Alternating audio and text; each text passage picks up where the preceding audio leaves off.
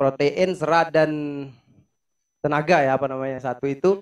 AA Energi. eh, apakah energi ya. Apakah ada eh, komposisi yang khusus artinya untuk pengembakan komposisinya sekian dan untuk pembiakan komposisinya sekian. Dan mana saja atau apakah eh, bisa dari semua jenis pakan itu kita lakukan tanpa em, menggunakan hijauan Sapi itu ya materi hidup itu kalau dalam teori maka dipengaruhi oleh dua unsur. Satu genetik, satu lingkungan. Cuman memang faktor lingkungan jauh lebih dominan. Nah, faktor lingkungannya macam-macam. Pakan itu salah satunya dan itu penting, faktor yang sangat utama.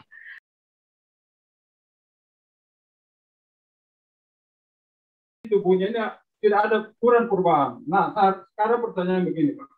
Apakah pengaruh dari sapi tersebut sehingga eh, sapi ini eh, kurus? Apakah ada, ada faktor dari jenis sapi ini atau pengaruh makan atau memang da- dari eh, kondisi lingkungan yang mempengaruhi tersebut? Terima kasih. Assalamualaikum warahmatullahi wabarakatuh. Waalaikumsalam warahmatullahi wabarakatuh. Terima kasih Pak Mansur dari Gua. Masih ada pertanyaan? Kami dari NTB. Oh ya, dipersilahkan Pak. Terima kasih. Nama saya Haji Jafar Sidik. Eh, yang ingin saya tanyakan adalah yang pertama bahwa mikroba yang ada di dalam rumen itu sangat menentukan keberhasilan pencernaan makanan.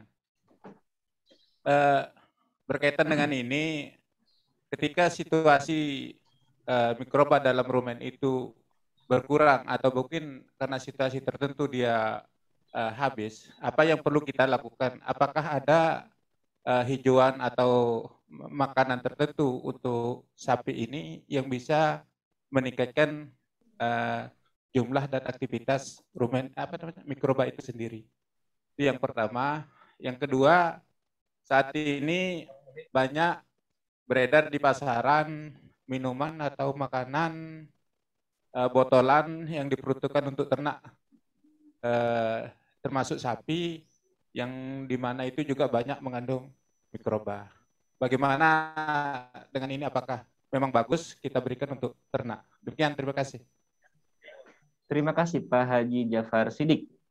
Satu lagi sebagai penutup termin kedua, masih ada Bapak dan Ibu dari Goa atau dari NTB? Ya, masih dari gua Pak. Oh, dari Goa. Dipersilahkan Pak. Ya, terima kasih. Assalamualaikum warahmatullahi wabarakatuh. Waalaikumsalam warahmatullahi wabarakatuh. Ya, jadi eh, ada beberapa yang harus simak terkait masalah jenis pakan ternak eh, dari hijauan segar, eh, kering atau hay, dan eh, by apa ya? By produk. Eh, berbicara masalah kering, kalau kebiasaan kami di sini Pak, jerami itu biasanya ditumpuk sedemikian rupa, kemudian ditabur dengan eh, garam. Ini kebiasaan petani. Eh, biasanya kan menggunakan urea, tapi terkadang petani enggak menggunakan urea karena biasa eh, ber- apa namanya hasil akhirnya eh, akan tidak sesuai dengan apa yang kita harapkan. Sehingga mereka menggunakan garam untuk mengawetkan pakan kering itu. Itu khususnya untuk jerami Eh, terkait masalah eh, hay eh, itu berapa lama bahan kering itu kita tumpuk kemudian prosesnya seperti apa? Kemudian eh, persentase dari uh, nutrisi yang dihasilkan uh, seperti apa. Saya kira itu Pak. Terima kasih. Assalamualaikum warahmatullahi wabarakatuh. Waalaikumsalam warahmatullahi wabarakatuh. Mohon maaf dengan Pak siapa barusan? Pak Batiar tahu dari kelompok tani aliran. Oh, oke. Pak Bahtiar. Oke, Iya. Mas Miftah, jika masih Ya. memungkinkan, NTB masih ada satu pertanyaan. Oke, satu lagi. Boleh Pak Bambang? Boleh, silakan. Boleh, satu lagi dari NTB, silahkan.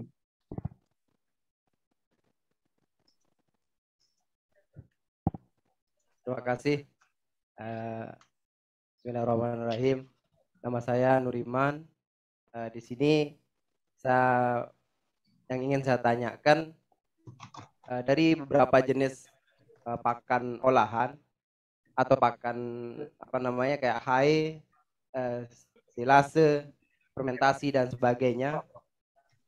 Mana saja atau apakah bisa dari semua jenis pakan itu kita lakukan tanpa um, menggunakan hijauan. Uh, itu yang pertama. Yang kedua, uh, apa namanya kan ada dua jenis uh, budidaya, ada penggemukan dan ada pembiakan. Uh, yang pertama itu dalam penggemukan. Uh, yang ingin saya tanyakan apakah ada komposisi dari protein, serat dan uh, apa namanya uh, protein, serat dan tenaga ya apa namanya satu itu? AA energi. uh, apakah energi ya? Apakah ada uh, komposisi yang khusus artinya untuk pengembangan komposisinya sekian dan untuk pembiakan komposisinya sekian dan kalaupun ada, bagaimana untuk menguji itu, terutama kami yang di peternakan, apa yang di kelompok yang sangat keterbatasan dengan eh, apa namanya teknologi-teknologi yang sifatnya eh, penelitian begitu. Apakah ada secara visual atau secara nyata untuk menentukan nutrisi dari uh, beberapa pakan yang kami miliki ketika mau uh, mengolah. Terima kasih. Itu saja. Assalamualaikum warahmatullahi wabarakatuh. Waalaikumsalam warahmatullahi wabarakatuh. Terima kasih kepada Pak Mansur dari gua, Pak Haji Jafar Sidik dari NTB, kemudian Pak Bah eh Pak Bahtiar dan Pak Nur Iman atas pertanyaannya. Pak Bambang, perlu saya bacakan ulang atau pripun? Oke, langsung aja saya jawab nanti kalau ada yang miss nanti saya diingatkan. Baik, Pak. Dipersilakan Pak Bambang. Baik. Dari pertama tadi ada pertanyaan dari eh, mana tadi eh, gua. Eh, Pak Mansur ya. Pak Mansur dari mana tadi lupa? Oke. Dari Dari gua. Oke. Ya, Sapinya tidak gede-gede lah, intinya begitu ya. Tidak gemuk-gemuk. Apa lingkungan, apa pakan. Oke. Sapi itu, ya materi hidup, itu kalau dalam teori maka dipengaruhi oleh dua unsur. Satu genetik, satu lingkungan. Cuman memang faktor lingkungan jauh lebih dominan. Artinya Bapak Ibu punya sapi yang jenis breednya sapi gede, misalnya sapi simental, sapi limosin atau simpo limpo. Maka itu breednya harusnya akan gede. Tapi kalau diberi makannya tidak pakan yang baik, maka tidak akan gede-gede. Bahkan kalau sapi yang harusnya diberi makan dengan nutrisi yang baik, tapi tidak diberi nutrisi yang baik, dia tidak akan bisa berkembang biak. Jadi hanya tumbuh, tapi tidak berkembang. Kenapa begitu? Karena organ reproduksinya tidak tumbuh dengan baik, sehingga tidak subur. Kalau tidak subur berarti dia tidak akan berkembang. Jadi hanya bisa gede, tapi tidak bisa berkembang. Nah, faktor lingkungannya macam-macam. Pakan itu salah satunya, dan itu penting, faktor yang sangat utama. Nah, Bapak Ibu ngasihnya apa? Jangan-jangan ngasih makannya hanya nasi saja. Kalau ibaratkan kita ibaratkan tadi ya kita makan itu kan perlu nasi, tapi juga perlu eh, apa namanya eh, eh, lauk, perlu vitamin, perlu mineral. Maka perlu dilihat, jangan hanya dikasih jerami padi saja, jerami jagung saja. Ya kenyang sih kenyang, tapi kenyangnya sapi kalau dia tidak terpenuhi ya kan kasihan perutnya sudah penuh, harusnya masih butuh lagi asupan nutrisi, tapi udah nggak ada tempat lagi pakannya. Maka perlu diperhatikan itu. Termasuk yang tadi salah satu ciri-ciri kalau dia kurang mineral. Mineralnya itu sebenarnya jumlah yang diperlukan hanya kecil, tapi penting. Dia jilat-jilat kandang, jilat-jilat tanah, itu kurang mineral. Ya, mungkin matanya terocos itu kayak apa namanya eh, punya air mata berair itu itu juga kurang mineral. Bapak Ibu harus perhatikan, bulunya kok tidak halus gitu kan? tapi agak apa jegrak-jegrak gimana gitu ya itu berarti kurang mineral. Itu harus diperhatikan. Jadi eh, kelihatannya hanya butuh sedikit tapi memang menjadi penting. Nah, itu adalah mineral. Sehingga harus diperhatikan. Kalau sapi tidak gede itu faktornya macam-macam. Termasuk faktor cacingan. Nah, maka perlu dilihat kotorannya seperti apa, lembek tidak, konsistensinya gimana, nanti perlu dilihat. Nah, kalau sakit berlanjut hubungi dokter lah itu penting memang. Nah, karena saya tidak melihat sapi Bapak, jadi saya hanya bisa menyampaikan beberapa kemungkinan. Yang kedua, ini dari Pak Eh, Ja'far Sijik, Pak Ja'far Sijik di NTB. Ada mikrobia.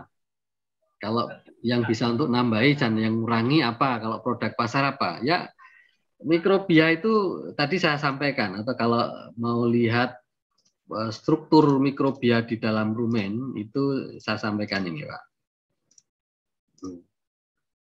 Mikrobia di dalam rumen.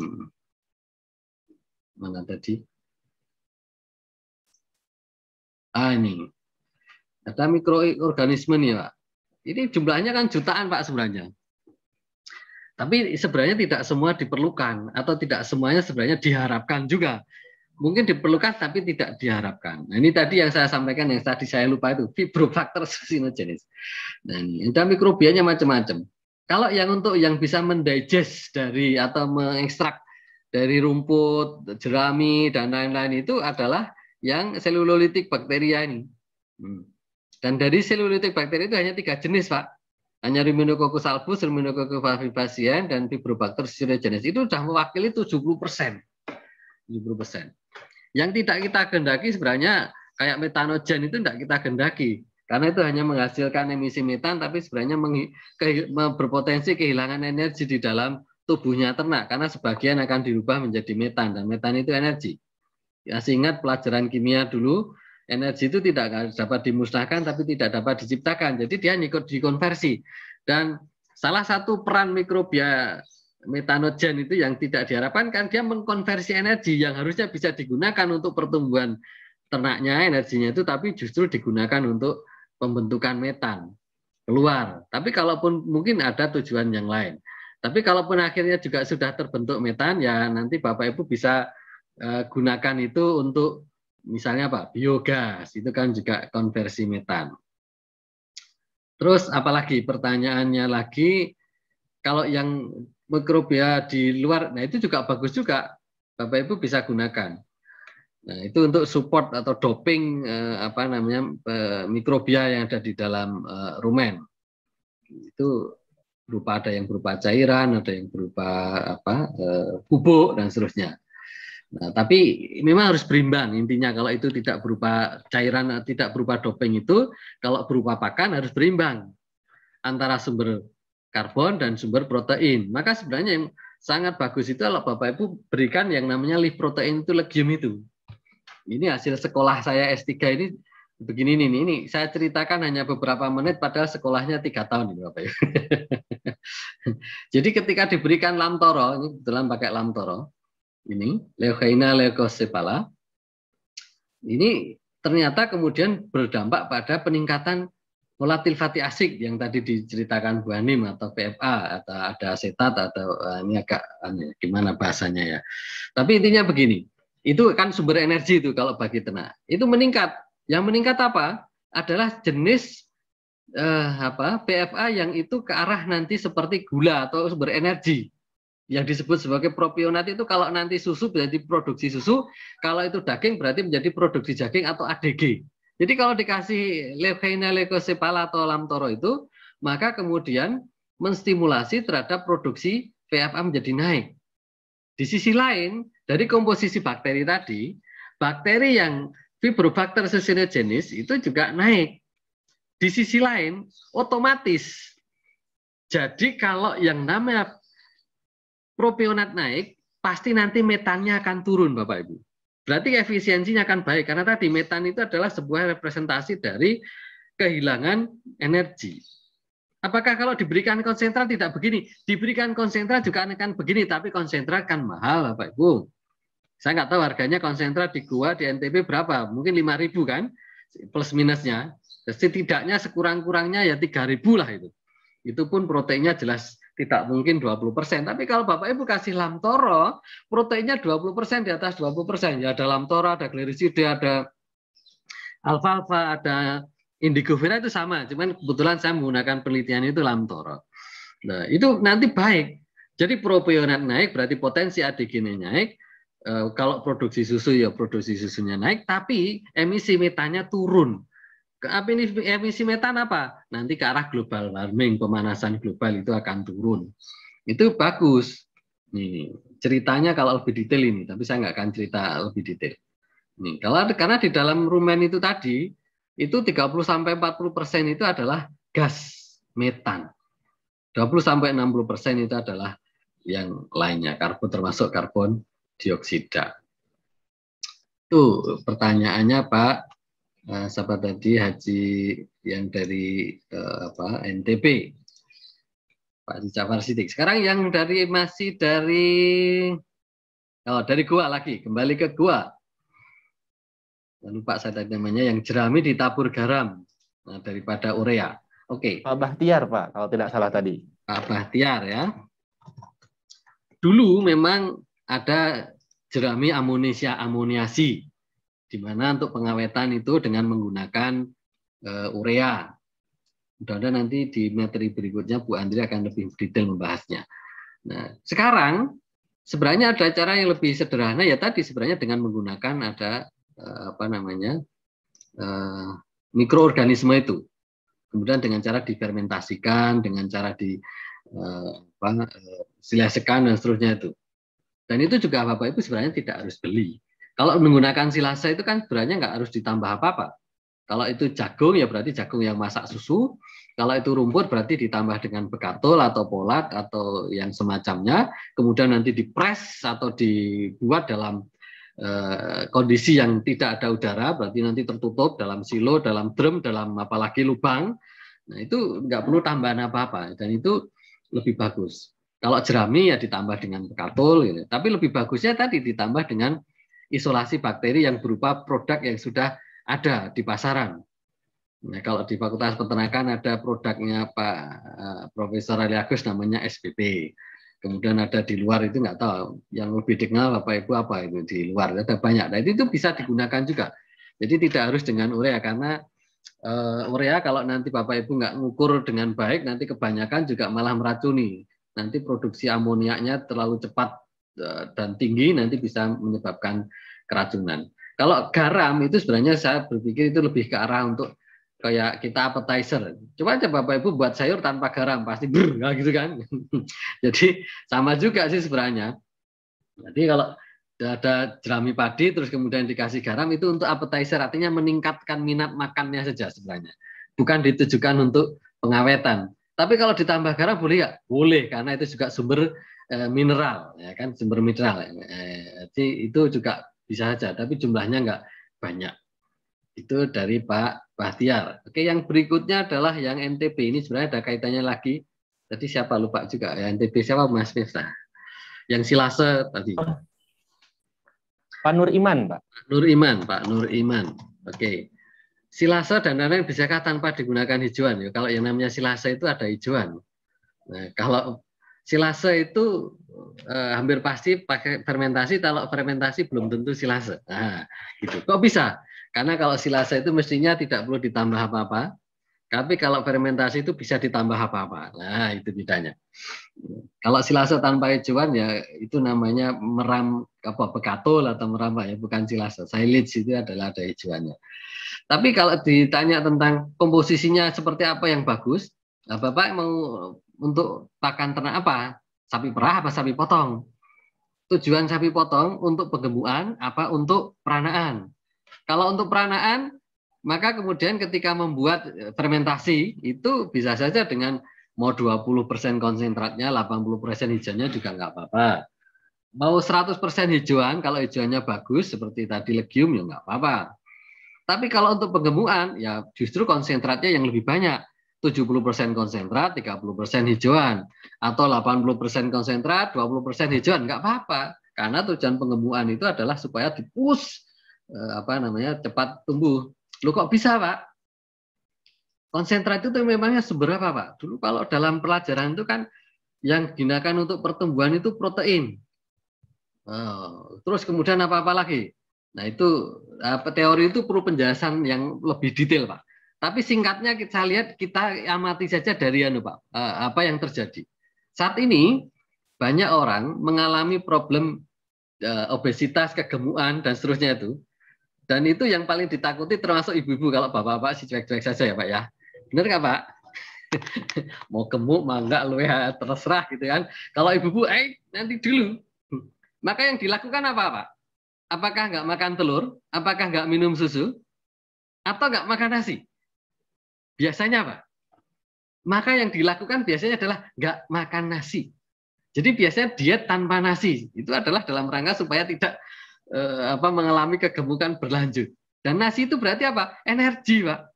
Dan konsentrat itu sebenarnya adalah karena di situ ada ingin diambil energinya. Jadi kalau penggemukan itu yang buat gemuk itu bukan protein, Pak, energi.